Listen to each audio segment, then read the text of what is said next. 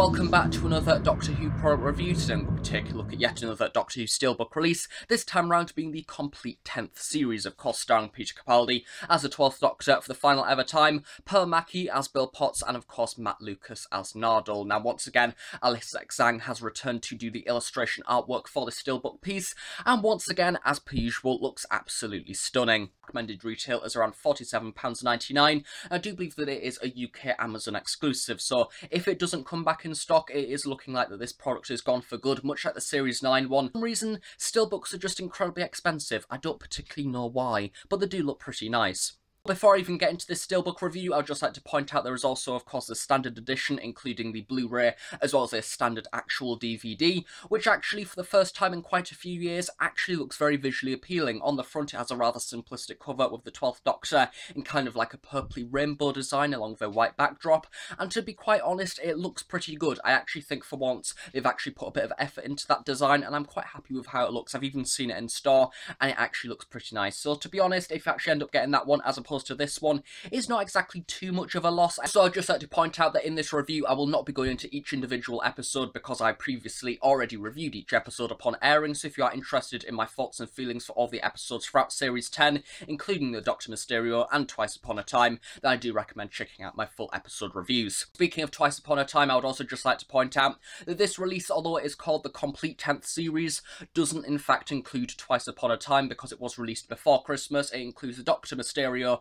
along with the rest of Series 10, and if you want to get Twice Upon a Time, you need to get the singular release, so that is something that a few people may have missed out. However, it is actually on the coding apparently on BBC America as Series 10, Episode 14, so technically speaking, this is not the complete 10th series, even though it actually is. And on other websites, it's said that this episode is just a 2017 special, so depending on where you actually put Twice Upon a Time between the serial list, this isn't actually on this release anywhere. So taking a look at the actual steelbook itself, much like the majority of releases, at the very bottom we get this cardboard sleeve piece along the Doctor Who logo, as well as the BBC logo along the complete 10th series and a continuation of the cover artwork on the front. At the very bottom we get a 6-disc set logo along the ratings of the set, which is of course a 12, and then on the sides of the sleeve we just get the regular DVD information printed once again. On the back of the sleeve we get the majority of the details about this release, so as you can see at the very top we get starring Peter Capaldi and Pearl Mackie. Then below this we get the complete 10th series episode list, this includes the return of Doctor Mysterio, the pilot, Smile, Thin Ice, Knock Knock, Oxygen, Extremis, the Pyramid at the End of the World, the Lie of the Land, Empress of Mars, the Eaters of Light, World Enough and Time, and the series finale, The Doctor Falls is also accompanied by a very nice art image of, of course, Pearl Mackie there, which is exactly the same artwork that is on the back of the steelbook itself. And then, of course, at the very bottom, we do get a bit of information about the actual special features on this release, which if you would like to read through some of those, then I do recommend pausing now. At the very bottom, once again, we get a little bit of company information and DVD information about this release, along with the feature-length running time, which is, of course, 615 minutes approx. So we get over 10 hours of Doctor Who media on this release, which, to be honest, for the price, I think is actually pretty good. It's a little bit unsure to start with, but I think £47 is actually a pretty decent price for it you do get this release, I really do recommend actually keeping this sleeve because it does have all that information and details upon, and I do believe that on the actual discs themselves, it doesn't include any of that information whatsoever, so yeah, this is a rather handy piece of card to keep in your life, I do recommend that. So sliding off the steelbook now and taking a look at the rest of the contents on the inside, starting off we do have this little bit of information, 2018 calendars and diaries, how lovely, so get one for Strictly Come Dancing, Planet Earth 2, Doctor Who, Doctor Who, Sherlock, Top Gear, yay. And then we have Only Fools and Horses, because why not? So yeah, that's just a thing that if you want to buy more Doctor Who stuff or more general BBC stuff, then you can do that. At least it's not a BBC Store advertisement, because that thing doesn't exist anymore. And then we also get some art cards, which is a rather nice little addition, something of which I didn't expect. Even though it states on Amazon, I do believe that you get them. I kind of forgotten about them, to be honest. I think there is three inside of this. I do believe that these also come with regular release as well, so yeah, that is a benefit for that. So starting off, get a holographic card there of the 12th Doctor. As you turn it, we do have a little bit of a regeneration energy effect, which is rather cool, along with Peter's rather wild-looking hair, so that's rather nice. Not exactly the most exciting holographic card in the world. Next up, we have Pearl Mackie, which is a rather fun one. We get Pearl there, and then we get a Cyberman, so I waited for you. There we go. I'm making that joke again, as with everybody. But yeah, then we also have one final one, which includes the Master, going into John Simm, then going into Michelle Gomez, then going into John Simm again. So yeah, that's rather fun, and they do smell rather weird. I can smell them all the way from over here, and I'm sat behind the camera. But yeah, that's a rather nice little addition. Not exactly anything too special, to be honest. I quite like the normal art cards that are non-holographic, and they just have some stylish stuff on the front. Maybe even these Stuart Manning ones. Those would have been really nice to see, although I don't think that he does them for the BBC anymore. But yeah, generally overall, I like these. They're a nice little addition, kind of like pad out the set. Taking a look at the actual steelbook itself now, as I was saying earlier, this was illustrated by Alice X Zhang, the same person who does the Titan Comics covers and quite a lot of other Doctor Who related artwork, including the Series 9 steelbook, and to be quite honest, it looks absolutely beautiful. I would love an actual print of this release at some point, maybe a giant poster or something like that. I think it's brilliant the way that she used lots of contrasting colours. As you can see, we get this rather sort of watercolory style of effect with Peter Capaldi there nicely at the very front with the different strands of hair nicely blowing everywhere, and I really do like like this sort of rainbowy effect in the background there, almost a bit of a fire design actually that is then reflected onto the actual face itself. Many different creases, many different bits of detail on this. The detailing is very sharp and I am very impressed with how it's turned out. Then of course at the very bottom we do get the detailing of the different pieces of clothing as well, including the rather nice velvety jacket and the shirt there as well. Generally overall I really do like this. Alice has done an absolutely incredible job. On the side, once again, much like the Series 9 release, we do get the Doctor Who logo along with Series 10 nicely printed. Unfortunately, I do believe that this isn't consistent with the other Doctor Who Series 1 and 2 steelbooks that are currently out, because I'm presuming we'll no doubt see another Doctor Who Series 10 and Series 9 steelbook at some point to probably coincide with the new designs that are coming out for the older series. Of course, on the very back, we get another image, this time of Pearl Mackie as Bill Potts. Once again, absolutely brilliant. A similar compliments with the different designs here of the nice watercolory effect, especially on the hair, bringing out all those different strands. Also, a very nice likeness to Pearl Mackie there. I love the contrast between the ribbon that she's got in her hair and the skin as well. Lots of different details in there. Once again, looking rather scratched, as you can see down here, the way they've sort of replicated this lighter section than the darker pieces coming around the side.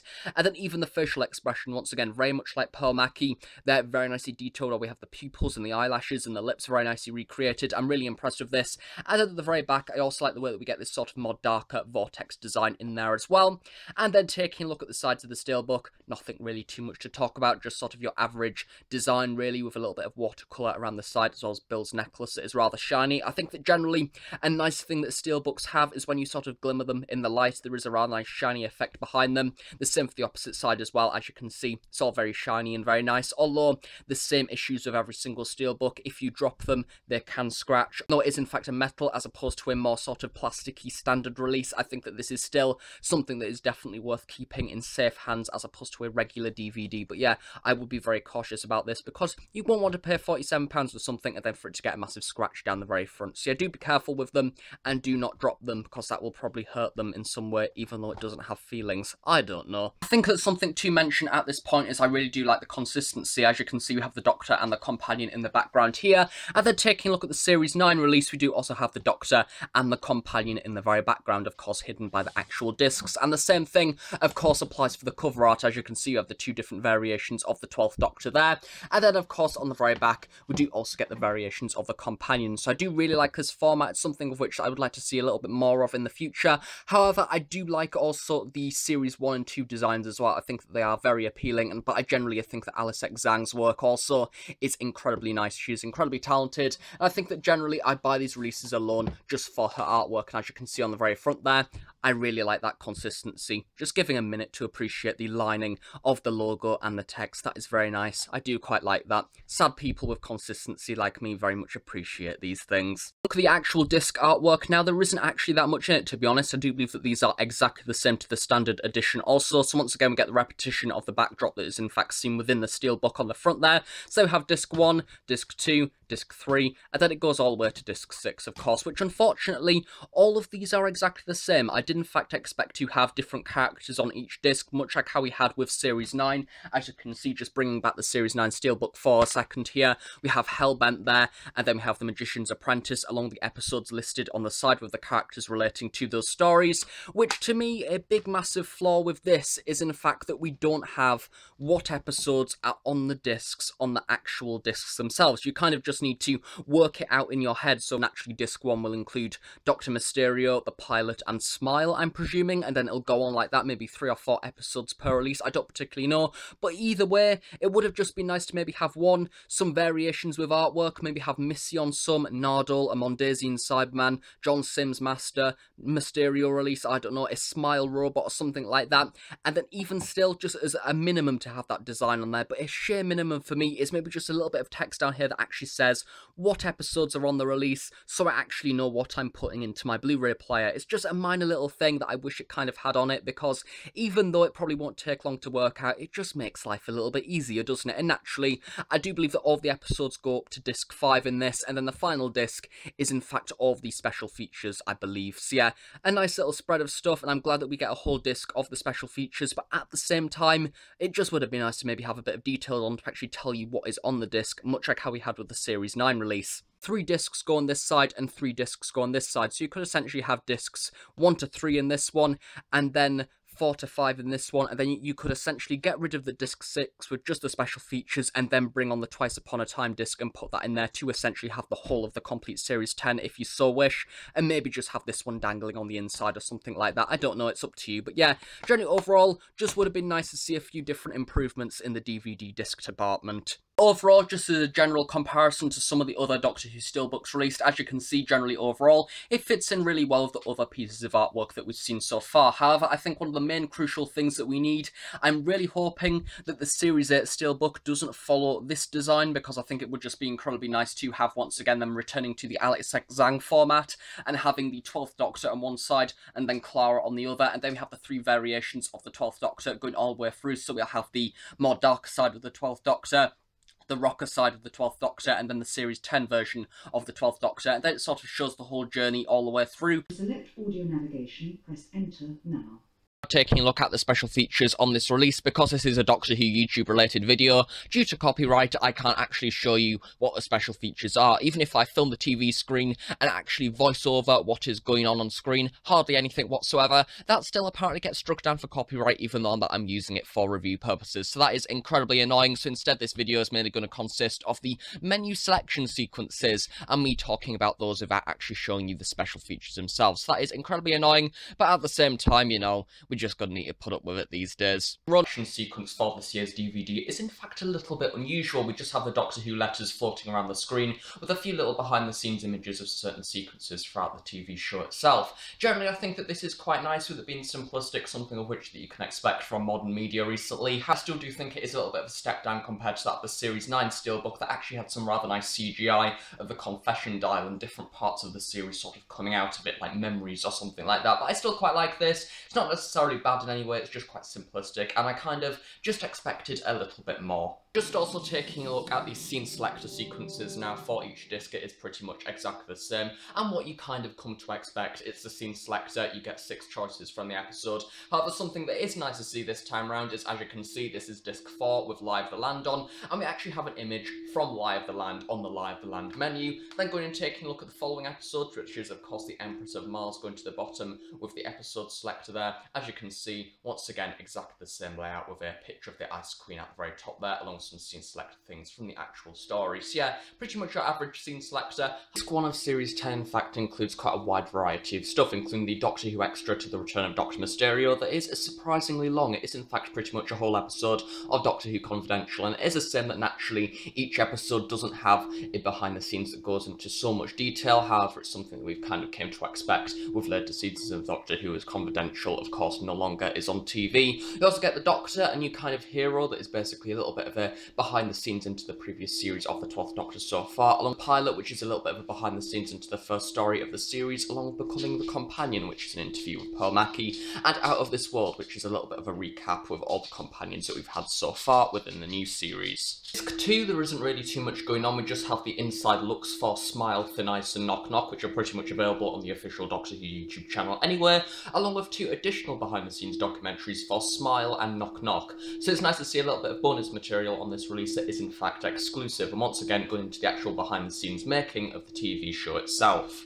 Behind the scenes for disc 3 now. As you can see, there isn't really much going on with this disc either. We just have the inside looks for episodes Oxygen, Extremis, and Pyramid at the End of the World. However, something that baffles me is, as you can see, we have a massive image of Smile on this DVD, even though that Smile isn't actually on this release. And to be honest, it wouldn't have exactly took much to change this image to an episode relevant to the following episodes that are on this disc, but hey, for some reason we just have an image of Smile there, so it would be nice to maybe see something a little bit different. Disc 4 special feature pictures, and we're still taking a look at that image from Smile for some weird reason. So this time around, surprise, surprise, we get the inside look for Lie of the Land, the Empress of Mars, and the Eaters of Light, which once again are all available from the Doctor Who official YouTube channel, so nothing really too exciting there. However, we also have a little bit of a documentary thing about Rona Munro, which I do think is exclusive, so I'll probably actually watch that now. Rona Munro documentary that I can't actually show you how helpful, thanks YouTube, is in fact quite nice. Once again, it is an exclusive piece for this DVD, and I actually think that has been really nicely directed. There's a few segments that have in fact been filmed in the Doctor Who experience, along with a few flashback sequences to Survival, of course, the last ever classic Doctor Who story that is by far Rona Munro's most superior Doctor Who story. But yeah, generally overall, it's nice to see a little bit of development, actually show how she came up with the ideas and things like that, and generally just a little bit behind the scenes is quite nice. A look at the fifth disc now, which includes the final episodes of Series 10, so naturally we do get the inside looks for World Enough and Time and The Doctor Falls. World Enough and Time and Doctor Falls confidential piece is pretty much the same as the Mysterio one, a little bit more extended in format. We do get to see a little bit more behind the scenes than usual going into the different photo shoots, especially the reveal of the new Mondasian Cybermen. And I think that if any of the episodes on this release to in fact get a behind the scenes a little bit more going into the depth of the story, I would want it to be the series finale. This includes some interviews with John Simm, Michelle Gomez, Matt Lucas, Pearl Mackie, Peter Capaldi, Steven Moffat in there as well. And I do believe a few pieces from Rachel Talalay, of course, the person person that did direct this episode, so that is nice to see. Basically, anything that relates to Doctor Who Confidential these days is nice, because we don't really expect that much these days. Genuinely don't know what this is. Oh!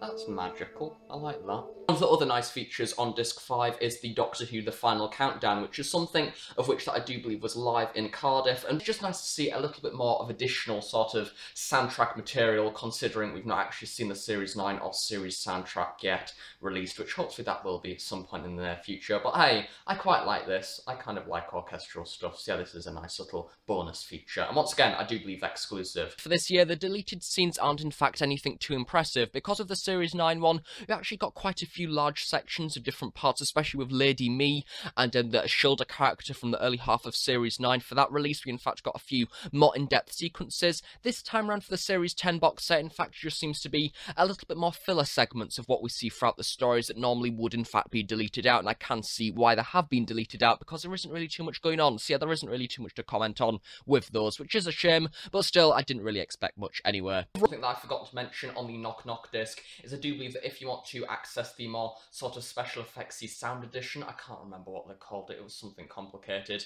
Basically, I do believe that it is the fourth option along where it conveniently says audio options. I'm presuming it's on there. I've not actually checked. I can't bother to put the disc back in again.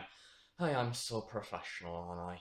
Sixth and final disc for the Series 10 box set is in fact completely dedicated to the Doctor Who fan show, which is once again available in its entirety for free on the official Doctor Who YouTube channel. And I must say, it is quite nice that they've included it. I did have a few gripes with the previous series because I kind of felt that some of the episodes weren't exactly too professional. They didn't really go into too much depth about the actual episodes, but I have actually watched some of the interviews from this year, such as the one with David Suchet from Knock Knock, and even some of the interviews with Steven Moffat and Peter Capaldi, and also the Twice Upon a Time one, which I know isn't actually on this release, but hey, it's an episode of a fan show that I can still kind of include it anyway. And even Hayley Nebauer, who does the costume designs as well, I actually think that some of the interviews this year round have in fact been rather in-depth, and I think that I like the detail that they've gone into, so I think it is actually a little bit of a step up from the previous year worth of fan show episodes. Yeah, I'm probably guessing that they will be on the discs in the future, so it's nice that they've included it if you do like the fan show. However, if you don't, I guess you can kind of just ignore that this disc exists. I'm actually quite surprised to see that there isn't actually any trail options available on this release. I don't know if I've just missed them or anything like that, but normally on the majority of releases they do in fact have sort of a summarization of all the teaser trailers and normally the episode trailers in there as well, along with the actual launch trailer from the series. And from what I can see, it's actually not included on this release whatsoever. So I'm a little bit disappointed by that, but at the same time it's not exactly a big issue. It would have just been nice to see them, but still the same natural sort of complaints of the newer box sets where we don't don't really have too much behind the scenes, especially not as much as we did with say, Series 1 or Series 2. So it would be nice to see a little bit more depth into that. With Series 11 with Chibnall, considering it might be a little bit more tight with spoilers and things like that, we might actually see a bit of a return to the behind the scenes format, showing how the episodes are made and the different sort of sequences that took place behind the scenes. But yeah, that will be nice, but I'm not exactly expecting much in the future anyway. To be quite honest, I think that not having much behind the scenes is kind of the norm these days on the majority of DVDs and Blu-rays features on this release now do in fact have quite a wide variety. Of course, the majority of the special features on this release are available for free anywhere on the official Doctor Who YouTube channel, along with the Doctor Who fan show as well. You can get all of that for free, but I do think the actual exclusive stuff, including the documentary with Rona Munro, the behind the scenes to the Doctor Mysterio, and the World Enough and Time confidential sequence, is in fact a rather nice amount to actually have on this release. It would have been nice to see more, and I think that the stuff that has actually been filmed directly for this piece has been really nicely produced. It actually feels like some effort has gone into it for once. Yeah, I'm very happy with that. However, it would be nice to see some of the more promotional material side of stuff because normally with the Series 1 and 2 Steelbook releases, we got the trailers and the teaser trailers that we got in the official launch trailer for the series, along with generally a little bit more of that advertising stuff, even the next time trailers, and that for some reason isn't on this release in case I've accidentally missed it or something like that, but I'm actually quite surprised to see that the trailers aren't on there. It's something that generally that I do expect to have. However, with them just being trailers, it's not exactly anything too big, and you're not really missing out because once again, those are available for free online anyway. Yeah, generally overall for special features, nothing really too special, but at the same time, quite a nice wide variety. It's just a shame that I can't actually show you it, because hey, that would have made this review a little bit more easier. Overall, for the Doctor Who Series 10 Steelbook, physically it is actually a really nice piece. I think that once again, Alice X Zhang has done an absolutely excellent job on the cover, and it is what you come to expect from a normal Steelbook, because literally every single Steelbook is the same, just with a different image printed on the front. And I do think that if you're a Doctor Who fan, especially if you like Series 10 or the 12th Doctor, then you should definitely buy this release. I think it is very pretty, and you may want to put it on display. And I think that generally, if you are to decide to get any of the releases, and you have the choice between the Steelbook one or the Standard Edition, I do do recommend the Steelbook for the actual recommended retail price. However, actually complaining about the physical discs themselves, I think that generally it just would have made natural sense to actually have on them what is on the actual disc, because I don't think I've ever bought something that is an actual box set and it doesn't say this is disc 1 includes episodes 1 to 5 or whatever. It actually needs to give the details of what is on the discs just to make the actual experience of watching to the product a little bit more easier. Thinking about the actual digital side of the DVD itself, I think that generally the Blu-ray and all the directing, and generally overall, Series 10 absolutely looks stunning. I think that the CGI is wonderful, along with the actual scripting itself, some really good episodes in there, and the Blu-ray is definitely something that I do recommend if you have a Blu-ray player. However, naturally, for the special features, we don't really get too much on this release. I think that when you take away all the things that aren't actually exclusive to this DVD, such as the fan show and all the inside look documentary things that are in fact quite small and under 10 minutes anyway, there isn't really too much. However, it is nice to see from what we actually get on this release, including the behind the scenes companion documentary, the interview with Pearl Mackie, and the behind the scenes for Doctor Mysterio and the Doctor Falls. It's still nice to see those on there. It just would be nice to see a little bit more behind the scenes in the future, a little bit more of that confidential stuff, a little bit more scripting to screen, which I do hope is something that does reoccur in CVs 11 and 12 in the future, but hey, only time will tell, I guess. The current time of filming this product is available on Amazon, however, it's not the recommended retailer, it is in fact around 60 odd pounds, which I do not recommend it for that price. I think that by far, if you just want a physical edition of Series 10, then I recommend buying the standard one, because I do believe it's currently on reducing HMV for $24.99. However, if you do have the actual choice to get it for the normal recommended retail at some point, I definitely do recommend it. That's really it for this release. If you have any questions about this product, then please do leave them in the description below, and I'll definitely reply to them at some point in the near future. Thanks again for watching, as I'll see you all in another Doxy video at some point in the near future. Thanks again for watching, as I'll see you all next time. Bye for now.